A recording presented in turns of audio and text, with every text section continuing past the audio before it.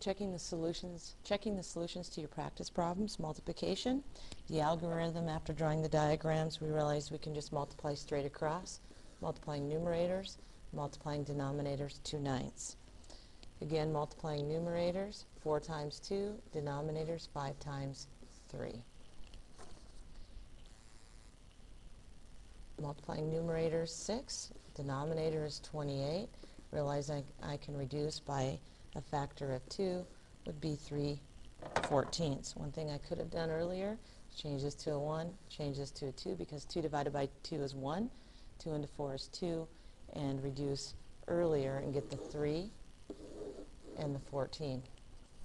Multiplying straight across, 3 times 2 is 6, 9 times 5 is 45.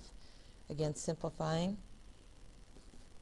3 goes into 6 twice, 3 goes into 45 15 times. If I had canceled earlier, 3 goes into 3 once, 3 goes into 9 3 times, 3 times 5 is 15, 2 times 1 is 2. The algorithm for division is multiplying by the reciprocal of fraction that's placed second after the divide. Multiplying straight across now, 7 eighths.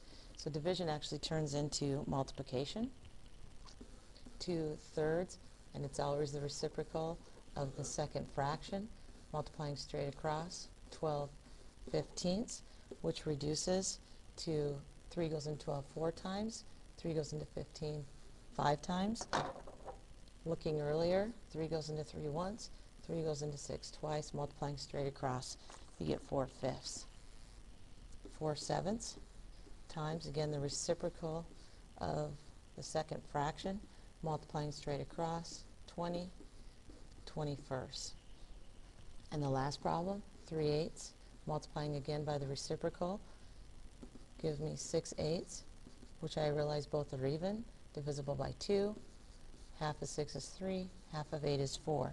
Simplifying prior to multiplying, 2 goes into 2 once, 2 goes into 8 four times, 3 times 1 is 3, 4 times 1 is 4.